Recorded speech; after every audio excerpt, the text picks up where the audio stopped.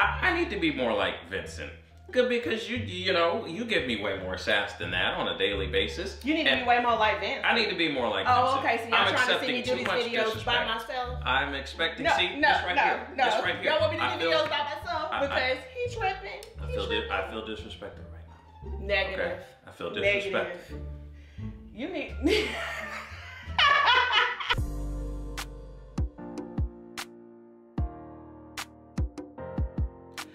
Back, YouTube fam. We are back with another week of Married at First Sight. This was episode 7 of season 12. How do you know if you're in love? Once again, I'm Blythe. And I'm Brandon, and if you haven't done so already, make sure you smash that subscribe button and hit the bell so you get post notifications so you know whenever we drop new content. Okay, give us a like. That'll let YouTube know you're enjoying our content. They'll push it out to more people. The more people they, uh, they push it out to, the more people will hop in the comments. Okay, so hop in the comments. Let us know what you thought about this episode. Let us know what you thought about each of the couples. Let us know what your power rankings are for the couples right now. Yeah. All right, we'd love to know what you think. So hop in the comments. Other than that, we're gonna go ahead and get started. All right. So Jacob and Haley, um, they move in together, uh, which I was surprised because, uh, as you saw, you know, last episode, he was pretty upset about what happened. But I guess Jacob, he's a cool guy. He's kind of like, we'll we'll move forward.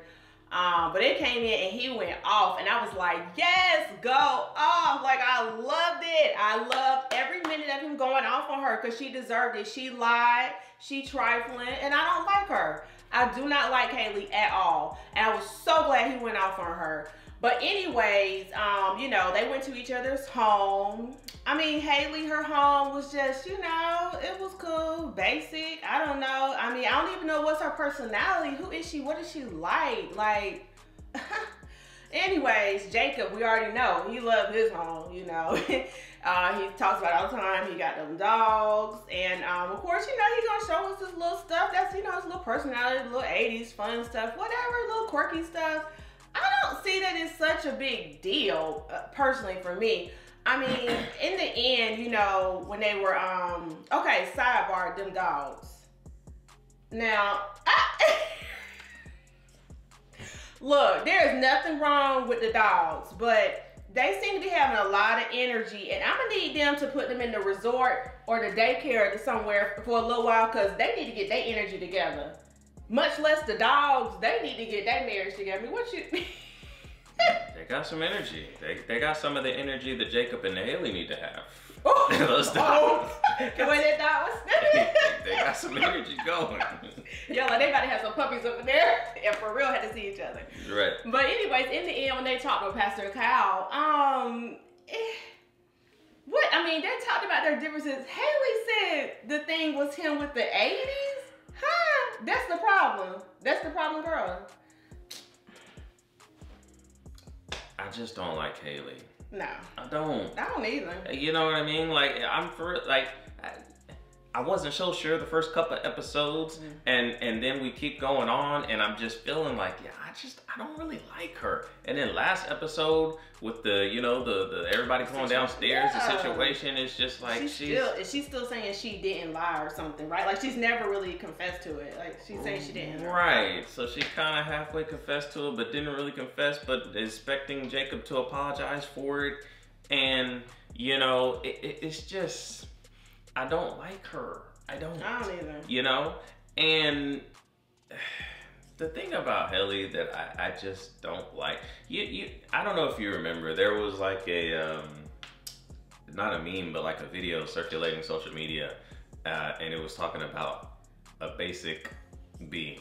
Uh, I can't say the word here on YouTube. Yeah. But know what you're saying. she was being diagnosed for being basic. Yeah.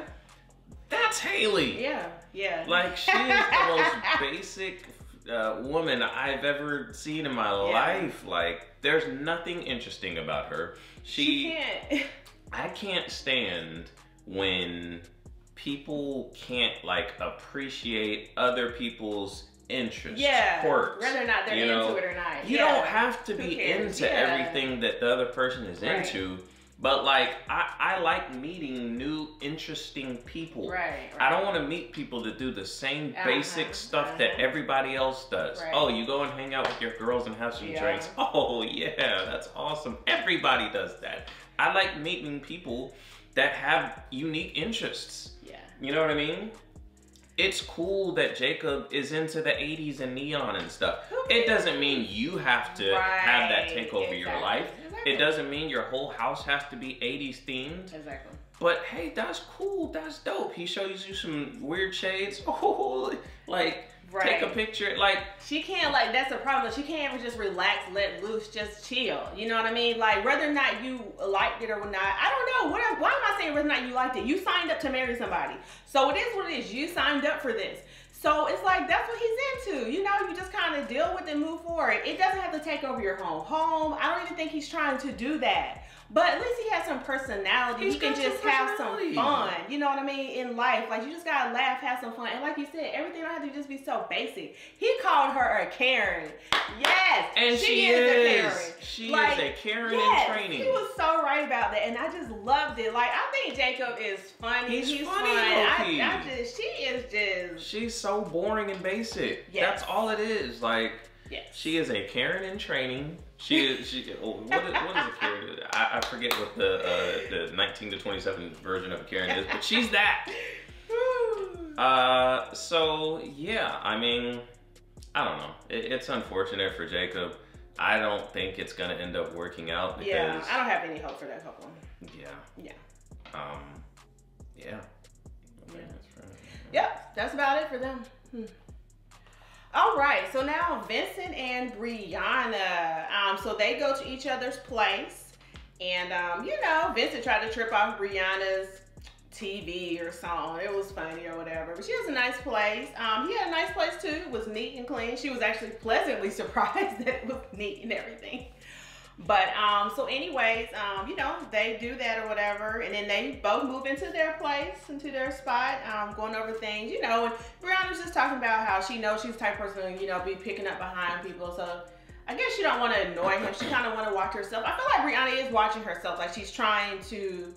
I don't know, just trying not to be overbearing or, you know, like just make him upset or whatever. Um, so Vincent, you know, I don't know what to say about Vincent. He's cool. You know, they're getting along, you know, moving in or whatever. But then in the end, they have a situation where what happened? He spilled the champagne that had popped or whatever. Champagne Vinny. Champagne Vinny. Like, um, I didn't see a big deal in it. Like they were just tripping off, oh, you know, the champagne, trying to clean it up. She said, Vinny of you. He's like, oh, my shirt. She was like, oh, how Vinny of you or whatever. Like, they're just sipping on the bubble. Like, I don't know. I didn't see the problem with this. So I'm confused.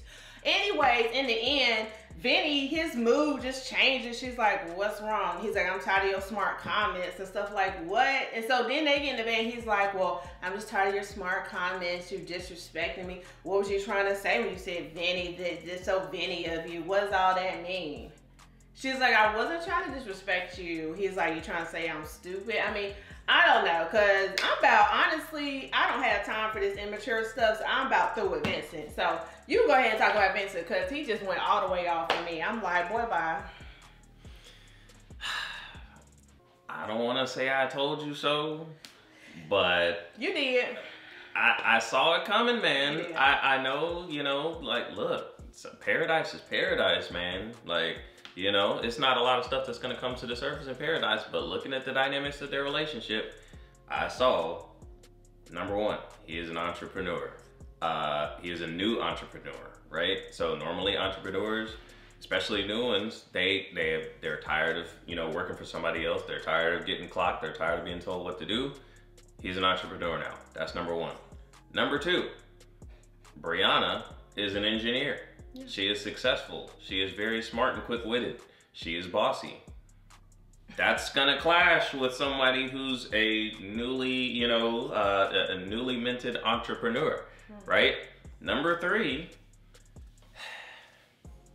I'm not saying Vincent is slow. Hmm. Not saying he's not intelligent. Right.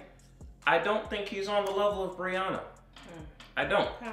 So here's what I've learned in my life and observe, observing, you know, highly intelligent people, and maybe not so much, you know, not not as intelligent.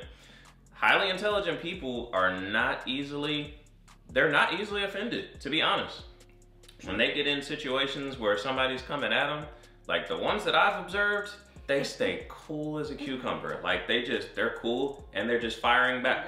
They're just firing back verbal jabs. They're firing back witty comments. They're they're they're reasoning. They're like you know what I mean. Mm-hmm. Like they're they're not easily rattled. If somebody throws a you know subtle jab at them, they throw one back. Mm-hmm. It's easy. People who are not quite as intelligible are easily offended in those situations. They get frustrated. They, you know, they, they get offended. You think you're better than me? You you you know, like they can't handle it because they can't match wits. They can't go back and forth. And I saw that and I, I feel like that's what's happening some with Vincent and Brianna. Brianna, she's she's quick with it. Like, you know what I mean? And and what I'll say in Brianna's defense is I think you're right. I think she really is you know, consciously trying to hold mm-hmm. back from being bossy, right. from being, you know, overbearing with him. Not to disrespect. Not to disrespect him, mm-hmm. but I think that what he's la- the reason he's lashing out is rooted in insecurity. It's not just the little jabs that she's giving yeah, him or whatever. I'm not, yeah, I'm not seeing it all. So yeah. Because you know how that's so Vinny of you when she asked him, "Can you give me an example?" I was really hoping that he was going to pull from maybe something that was off camera that we didn't see, and he didn't. He he gave the "That's so Vinny of you" example, to which I was like, "What? Have you ever dated anyone else in your life? Like, beside uh, you know, like, have you ever had another woman in your life other than your mother?" Because uh, I don't understand, bruh you gonna be offended. And you talking about being with a sister, I'm not, you know, I'm just, you gonna get a little bit of sass and a little bit of spice. And I like it, I love it, okay? Uh, but apparently Vincent can't handle it. So, it's, it's unfortunate. I don't know, I don't know, man. Right. I, I'm gonna be honest, like. We thought they was on, they were the only hoe. I think there's, they're gonna need some counseling. Uh, they're gonna have to talk to Vincent and figure out like where that's rooted in, and I think there's still a chance for them to work, but they're, they're, it's gonna take some work because he is very sensitive. I think he is insecure about yeah. Brianna earning more than him right now, being more stable than him right now, being the okay. breadwinner right uh, winner right now, and okay. being a little bit more uh, higher on a higher plane intellectually. I think, and uh, that's something they're gonna have to work through. I absolutely agree with you. Um, I mean, Vincent, I just feel like he's immature and he needs to grow up. And honestly, maybe he just can't handle a boss lady. So I don't know if they're to work out. Um, I mean, he needs to, you know, step his game up and level up. And I'm not talking about like financially, like, come on, like with your feelings and all that, get out of your feelings. And, and you're right. Um, you know, he's an entrepreneur and all. That's great. In business, yo, Step it up. You know, you're gonna have a lot of situations come up. You're gonna be fighting, getting mad, going to the corner. Mm, I'm not talking no more. Honey, I'm gonna need you to stop. Like you can't handle it with your wife. I don't know how you handle it in the boardroom. Hey. Okay. And then he just left up out the house in the end. Really? You gonna leave up at the house? Boy, bye. It's a couch out there. It's another bedroom. Bye. I don't have tolerance for that immaturity. I don't have tolerance for it. So honestly, I think I really have no hope for them. I thought they were the only hope. I have no more hope for them.